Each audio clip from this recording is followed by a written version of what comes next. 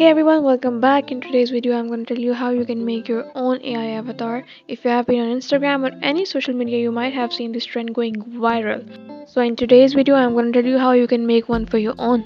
Well, these crazy gorgeous avatars are made by an app called Lensa AI.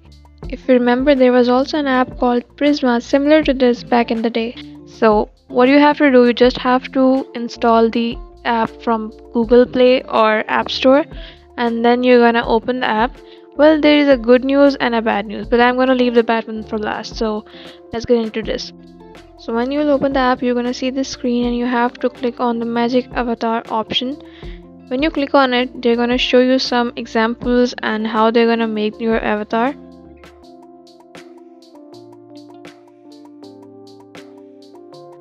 Then you need to click on the try now button which will open this page where they will show you what are the examples of good pictures and bad pictures and what kind of pictures you should select.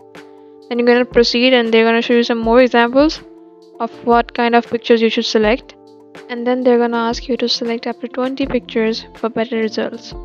Once you're done selecting the pictures, it's going to open up this page where you have to put up your gender. And here comes the bad part. Unfortunately, this option of creating AI avatars is not free and you have to pay some kind of payment to get your avatars. So it's up to you. If you are committed, you can pay and get your avatars. So if you like the video, please give it a big thumbs up and subscribe to my channel. And stay tuned because I'm gonna make a video where I'll tell you how you can make your AI avatar but free of cost. Thank you so much for watching.